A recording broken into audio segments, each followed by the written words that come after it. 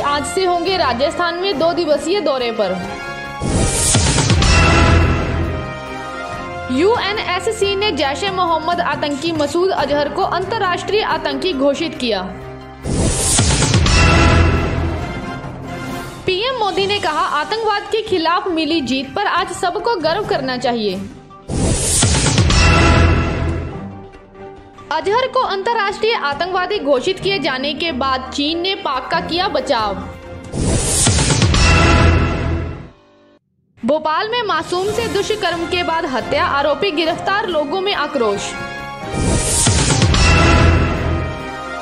हैदराबाद की ऐतिहासिक चार मीनार क्षतिग्रस्त मीनार का एक हिस्सा टूटा। साध्वी प्रज्ञा ठाकुर पर चला ईसी का डंडा। चुनाव प्रचार पर लगाया बहत्तर घंटे का बैन। गढ़चिरौली में नक्सलियों को पकड़ने के लिए तलाशी अभियान जारी। आईईडी ब्लास्ट में गई 16 की जान। जम्मू कश्मीर में आम नागरिकों की बड़ी राहत। राष्ट्रीय राजमार्ग चौवालीस से हटाया गया प्रतिबंध।